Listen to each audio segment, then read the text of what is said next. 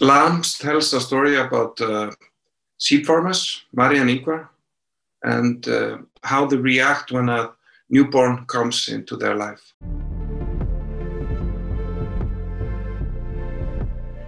We decided from the beginning that what we wanted to do was uh, like a make a film that we wanted to see and felt that we had not seen.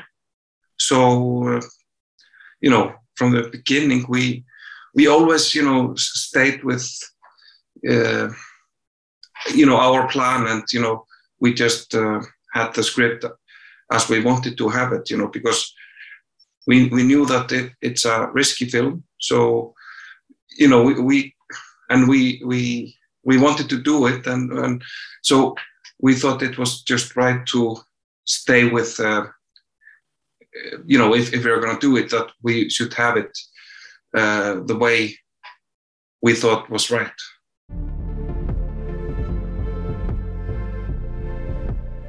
We wanted to have the film, you know, very open for the audience, so everybody could, uh, you know, somehow come up with, you know, uh, what they thought was right or read out of the film. Because uh, for us, uh, we really like, you know, film that you know you that you know when the filmmakers trust you as an audience and give you you know give you something more so you can be a, some kind of part of it.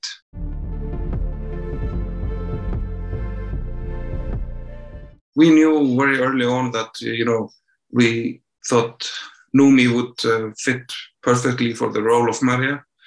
Uh, we also knew that she had lived in Iceland until she was six years old, so she speaks Icelandic. We were extremely happy when she, when we heard that and met her and she wanted to do it. You know, it was a, it was amazing because I, I still think she, you know, she, she was the only one that could be Maria.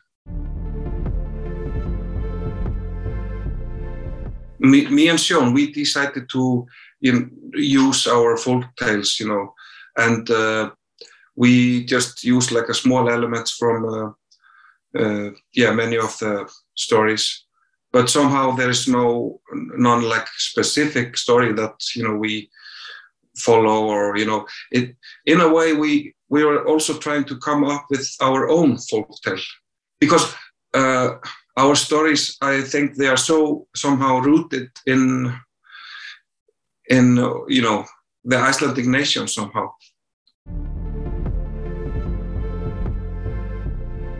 My favorite animal, uh, I think it's a uh,